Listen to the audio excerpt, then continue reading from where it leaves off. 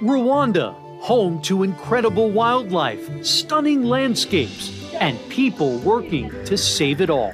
Nearly a decade after our first journey to Africa, we go back to witness conservation wins, the threats still faced, and the people helping both the animals and communities thrive. There is a lot of people on board really joining hands to do something big in Rwanda. Watch us, watch us. They're all heroes, and wow, we couldn't be more proud.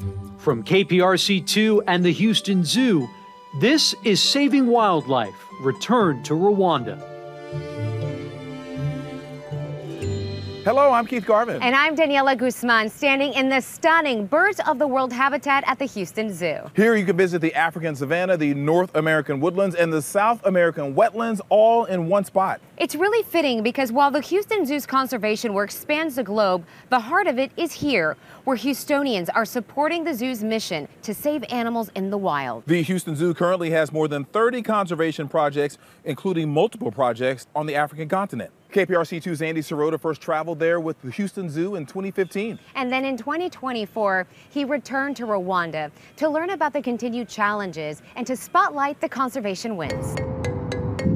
From Houston to Washington, D.C., to Belgium, and then Rwanda, we traveled with a team from the Houston Zoo and some very important equipment.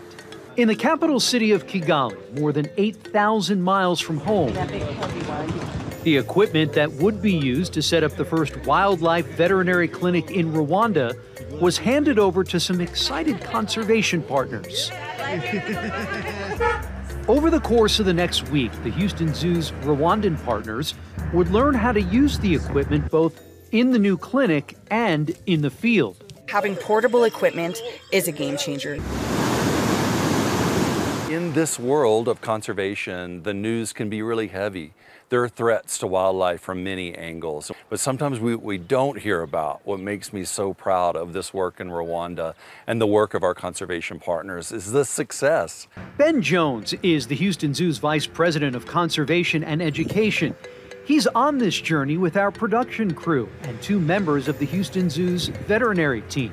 Dr. Christine Molter Looks like we have located the zebra. Um, and veterinary technician Jennifer Atkinson, who is now serving as hospital manager for the Houston Zoo. They were both in Rwanda for the first time. This has just formed an even deeper connection for the work that we're doing. The partners that we work with, they're so excited that we're here.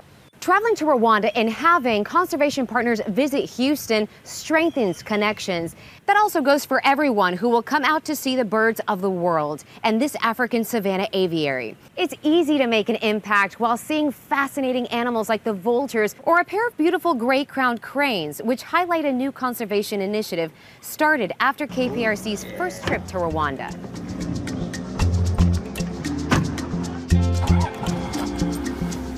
Whether cruising along a smooth Rwandan highway or bumping down a rough dirt road, Dr. Olivier Nsengimana will be dancing in the driver's seat. The wildlife veterinarian finds joy in these mobile jam sessions, but Dr. Olivier doesn't have much downtime. He was a field veterinarian for the Gorilla Doctors prior to launching his own nonprofit organization in 2015 there were only about 300 left in the country in the years 2012. And that really shocked me. And I told myself, like, hey, um, who's doing something to protect the crane? He founded the Rwanda Wildlife Conservation Association, or RWCA. We started like a telling Rwandans, hey, cranes are in danger, let's do something about it. So our ultimate goal was to stop the trade and remove all the captive cranes and introduce them back to their natural habitat. We made the population to become over 1,200 in eight years on. One thing I love watching about the cranes is the dance when they are dancing. While it seems fitting the dancing wildlife doctor made it his mission to save the dancing birds, that's far from all he does, and he's not doing it alone. Really, I was so lucky to find like some people who took on the mission You've seen Dr. Deo. Uh, there are so many other people we started together at that time.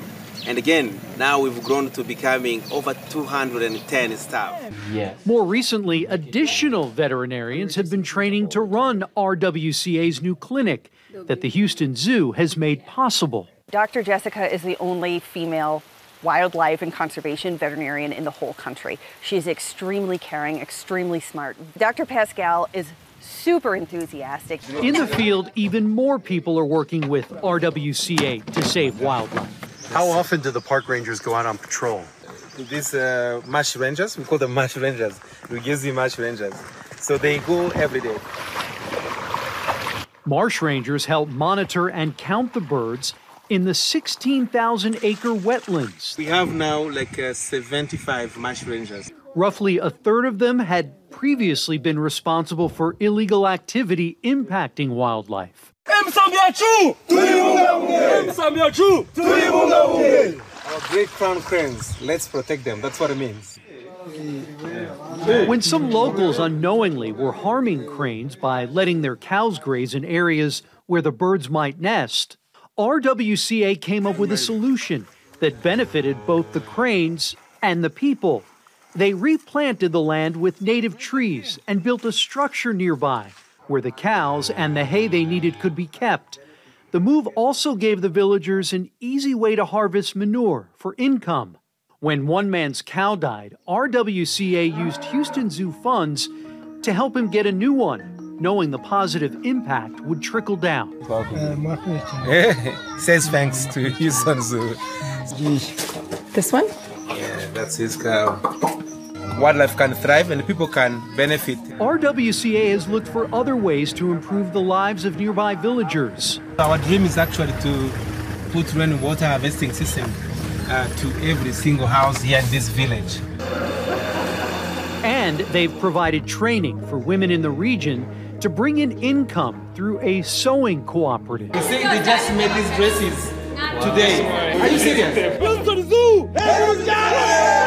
While Dr. Olivier puts his trust in RWCA's team, he is grateful the Houston Zoo entrusted him to save wildlife in Rwanda. And the Houston Zoo came with like it's like just a full package and, and, and everything became possible.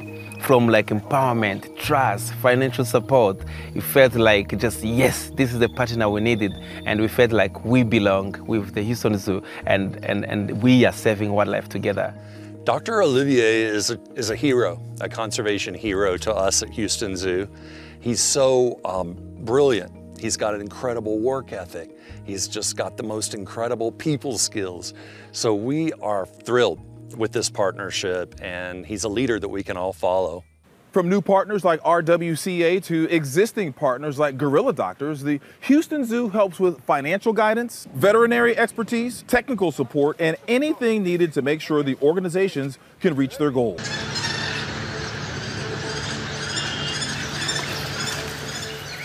For the gorilla doctors, the forest is their hospital.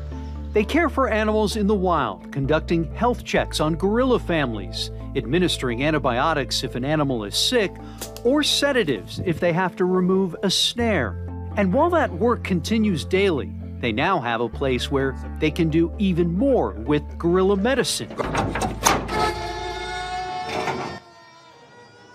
It's good to see you, my friend.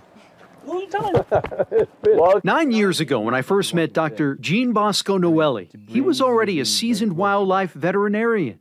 Since then, he's expanded his work with the gorilla doctors.